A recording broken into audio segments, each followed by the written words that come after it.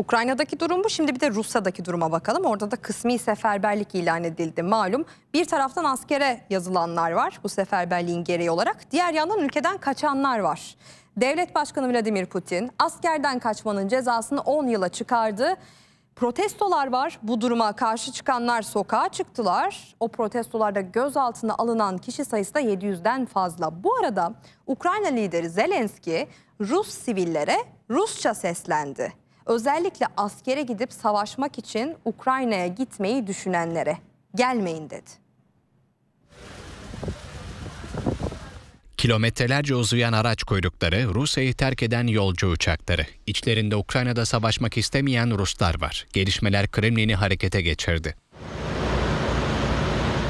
Rusya Devlet Başkanı Vladimir Putin, 2. Dünya Savaşı'nın ardından ülkede ilk kez seferberlik ilan etmişti. 300 bin yedek asker Ukrayna'ya gönderilecek ancak Ruslar tepkili. Birçoğu ülkeden ayrılıyor. Putin kaçışın önüne geçmek için yeni kararname imzaladı. Seferberlik zamanında askerden kaçmanın cezası da 5 yıldan 10 yıla çıkarıldı. Ayrıca düşmana teslim olan askerlere 10 yıl, yağma yapanlara da 15 yıl hapis cezası verilebilecek.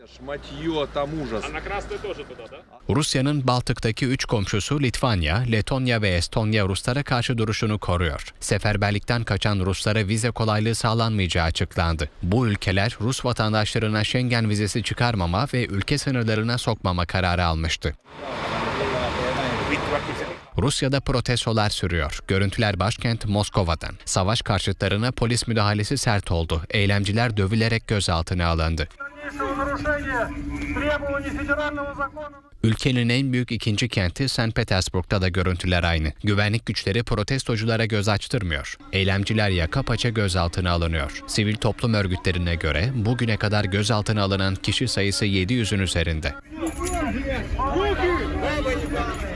Ukrayna Cumhurbaşkanı Volodymyr Zelenski de gelişmelere dair açıklama yaptı. Ruslara kendi dillerinde seslendi. Hayatınızın sona erip ermeyeceğine karar vereceksiniz dedi.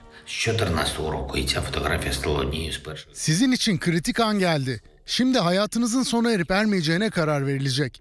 Yabancı bir ülkede savaş suçlusu olarak ölmektense seferberliğe katılmamak daha iyidir. Kaçmak, suç teşkil eden seferberliğe katılarak sakat kalmaktan ve sonrasında yargılanmaktan daha iyidir. Ukrayna'ya teslim olmak silahlarımız tarafından öldürülmekten iyidir.